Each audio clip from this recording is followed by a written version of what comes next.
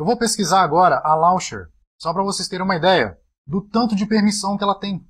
A Launcher do, da Samsung, a Launcher padrão, a OnY, é essa aqui, ó. Além de ter acesso à internet, ela tem uma série de permissões. É só você clicar aqui, mais uma vez, todas as permissões. Ela pode ler contato, ligar para números, ler o status de identidade do telefone, ou seja, ela pode ler aqueles identificadores do seu aparelho, né? Ao, ao, acessar o telefone, ela lê esses identificadores que você resetou malandramente, né? Você assistiu essa aula aqui.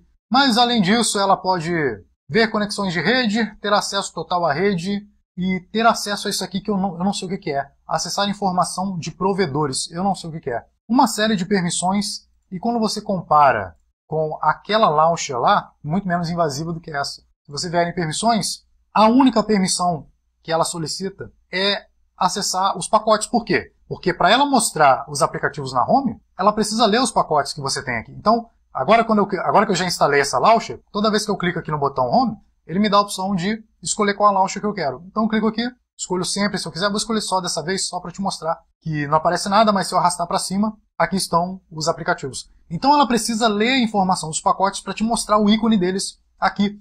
Então a única coisa que essa launch pede de permissão a você. Não é pedir muito, né? Não é pedir demais. Comparado a essa aqui, a OneUI, que pede várias permissões. E se comunica com a internet, que eu considero ser o pior, né? O pior de tudo. Ela não está tentando se comunicar agora, mas ela tem acesso à internet.